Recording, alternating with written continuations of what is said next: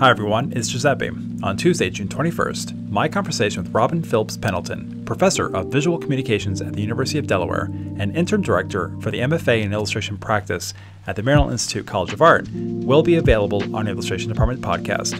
Among the topics, Robyn talks about social media's long term negative effect on illustration, why introspection is key to being an illustrator, and more.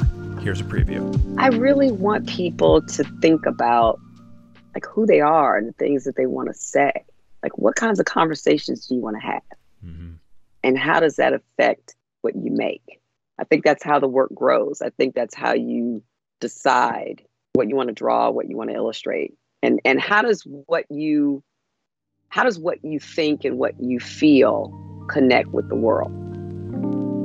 I can't wait to share the rest of our conversation with you. Be sure to follow the podcast wherever you listen to them and stay tuned. Until then